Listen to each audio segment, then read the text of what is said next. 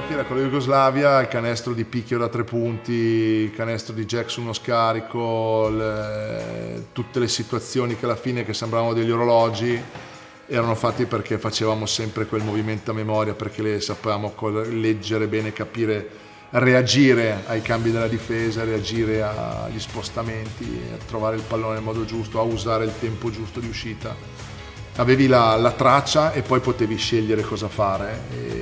il fatto poi di, di,